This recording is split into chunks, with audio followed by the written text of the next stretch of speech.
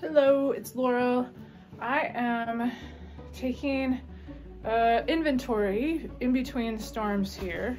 Uh, I figured I would dig out our bee shed, our garden shed, and take a look at what we've got in here.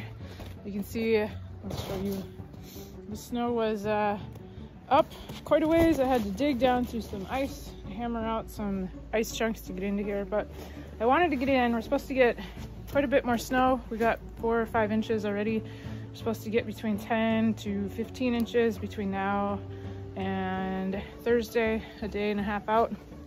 Um, and after that, it looks like we've got a couple more storms lined up. So who knows what this is gonna look like in the next week. But I'm in here, our bee shed, garden shed, which I have commandeered as the bee shed. And I am taking a look at some of our supplies. It's quite a mess, very mousy. My plan is I have a couple sets of frames that are hanging up here.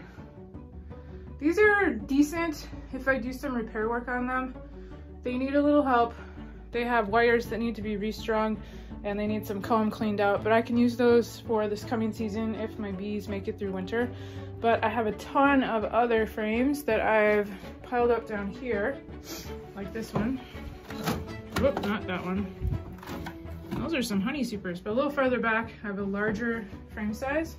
Those are brood frames, and those are they're in really tough shape. I can't put a centerpiece onto the top of the frame. That centerpiece is a guide for where the bees build comb when you're going with foundationless frames.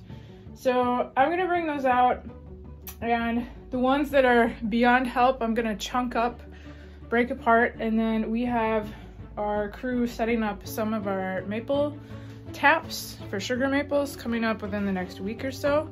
And we are always scrapping around for kindling and these have wax on them and they will make fantastic kindling. Let me grab one really quick.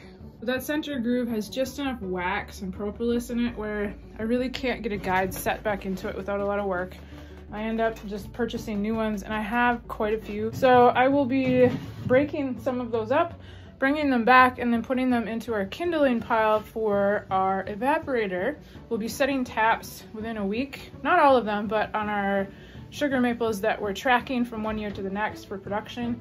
Those will be putting taps out shortly and we will probably be needing wood and kindling before we know it. Uh, so I wanted to grab these out before the shed gets even more buried in the snow that is moving in in a little bit. I always put this off and then I get too busy with school groups and don't have a chance to come out and work on this. So I'm here today. It's giving me a chance to go through a bunch of this stuff and get it cleaned up for when beekeeping season arrives, but also it will help out some of our other efforts when we are starting to cook sap down into syrup. Here are the results of the cleanup. I got a whole bunch of frames broken down and ready to go for being burned in our evaporator. All right, till next time, I'll see ya. Bye-bye.